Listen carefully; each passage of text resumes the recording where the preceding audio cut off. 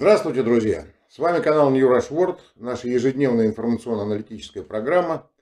Я ее ведущий Александр Глущенко, и сегодня мы поговорим как бы на отвлеченную философскую тему. А вы уже сами решайте, э, применимы ли э, значит, понятия, которые будут сейчас мною изложены, э, суждения, умозаключения, которые я сейчас выскажу, к российской действительности. Я впрямую ничего говорить, показывать, э, называть, показывать пальцем не буду. Я просто хочу проанализировать э, мнение, взгляд великого итальянского философа, мыслителя, писателя Умберто Эко, э, который сам явился жертвой фашизма, который еще в юном возрасте воевал в итальянском сопротивлении против режима Муссолини. Э, значит, и он дал общую характеристику такому понятию, как фашизм. А вот сейчас мы просто попытаемся провести некоторые параллели. Он э, выставил на обозрение публики в своей огромной статье, вот этой, которая называется «Урфашизм», то есть вечный фашизм. Так и называется, вечный фашизм, его статья. То есть то, что где-то, когда-то, почему-то он будет существовать вечно и э, там типов, видов, разновидностей э, фашизма достаточно много. Давайте разберем эти 14 пунктов, а вы сами проводите параллели и смотрите. Применяйте к реальной действительности, посмотрите, в какой стране это можно предъявить. Значит, Умберто Эко написал, первый пункт э, любого фашизма это традиционализм. То есть взывание к традиционным ценностям общества. Да? Ну, скажем так, от Ивана Грозного до Сталина. Я называю самых одиозных.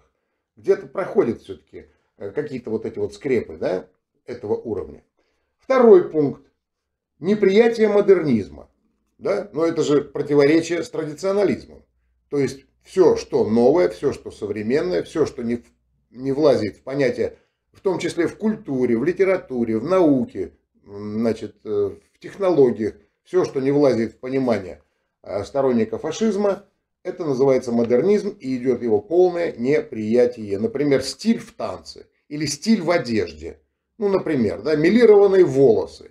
Или, э, значит, там, я не знаю, татуировка. Или, например, там, э, пирсинг, да. Это уже не принимается даже на уровне внешнего вида. Третий пункт.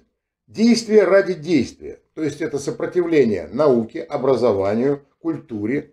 То есть надо накручивать себя и разводить различного рода, рода действия для того, чтобы не оставлять страну в покое, государство, общество в покое. Четвертое.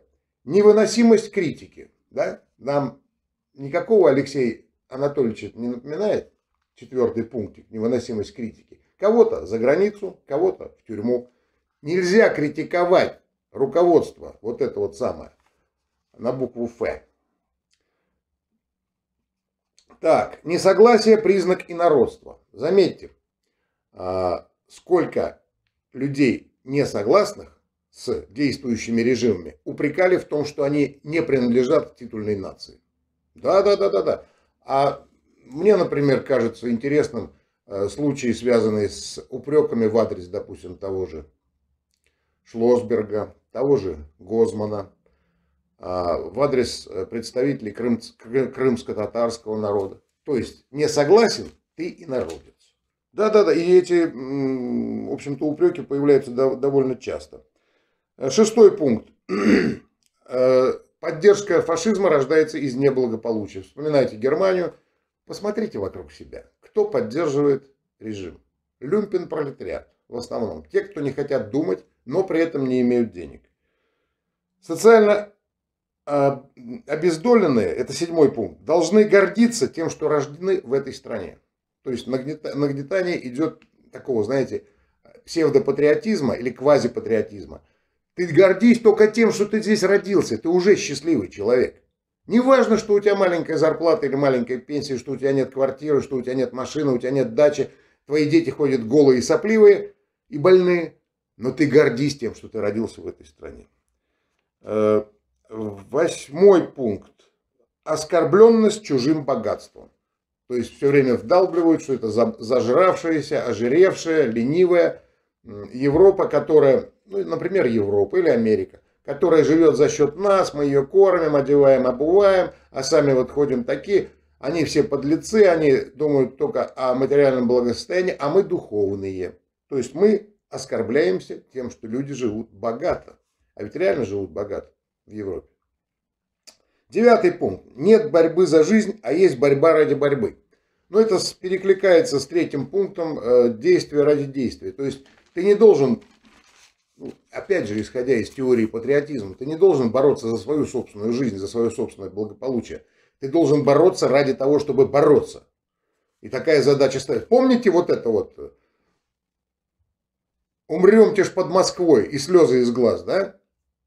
На выборах мартовских. По-моему, 18 года, да? Ребята, не Москва ли за нами? То есть борьба ради борьбы. Хотя, по идее, можно жить спокойно, мирно и все политические вопросы решать совершенно мирным, спокойным путем. Нет, надо бороться. Десятый пункт. Э, популистский элитаризм. То есть, члены одной партии являются элитой. Член, элитаризм, популист какой? Допустим, в советское время, это тоже своего рода фашистский режим, э, нужно было, значит, члены КПСС были своего рода элитой. Вспоминайте, кто жил при советской власти. Это была элита производственная, это была элита научная. Они все должны были быть членами КПСС. Остальные, кто не члены КПСС, те плебеи. Давайте проведем параллель, ну, скажем так. Сегодня мы можем поглядеть только на партию с изображением медведя и медвежат. Одиннадцатый пункт. Э, значит, всякого человека воспитывают как героя. Ты герой, ты защитник, ты защитник нашего общества.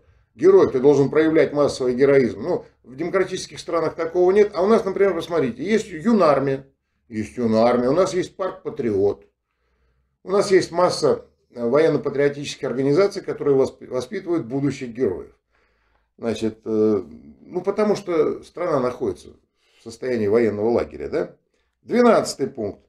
Перенос стремления к власти на половую сферу. Культ мужественности. Э, а также уничтожение э, секс-меньшинств. Уничижение секс-меньшинств. Посмотрите, что было в гитлеровской Германии. Там был культ силы, мужественности. Вот эти все изображения этих атлетов там различных и так далее. Посмотрите у нас сказочный национальный лидер, я не буду показывать пальцем, постоянно с накачанным торсом, скачет на лошади, плавает в реке или в бассейне, э, качается в качалке. Это прекрасное мероприятие спортивное, я имею в виду культ мужественности. Но тем не менее, э, гораздо... Э, это культ обезьяны, скажем так. Культ обезьяны, потому что она крепкая, она сильная, она лазит по деревьям, но с головой не все в порядке. Правильно, культ мужественности это не что иное, как убрать мозги и заниматься исключительно мышцами. Ну и, например, э, например э, качественный популизм или начальственный популизм, скажем так, что вождь воплощает волю народа. Народ сам никакой роли не играет, но вождь с помощью пропаганды, агитации ставит себя в такое положение, что он Э, воплощает волю народа. То есть он это народ фактически. Ну, как? Э, государство это я, как говорил Людовик XIV. Но э, главное до мозгов каждого люмпина довести, что вот этот человек, вот этот великий человек, если не он, то кто, воплощает волю моего народа и волю мою в том числе. Ну и, наконец, примитивный язык. Заметьте, все выступления, все э, значит, доклады, которые в этой среде проводятся, производятся, скажем так, со всех трибун, звучат очень легко и просто и никогда не задействуют различного рода научной лексики. Иногда до смешного доходит, когда начинают разговаривать языком подворотни или языком лагерно-блатного жаргона. Серьезно. То есть, чем э, приводить выдержки из трудов э, классиков экономики, политологии, дипломатии и военного дела, а там очень много специфических терминов, Люмпен не поймет. Проще разговаривать лагерно-блатным жаргоном. Вот и все. Или языком подворотни.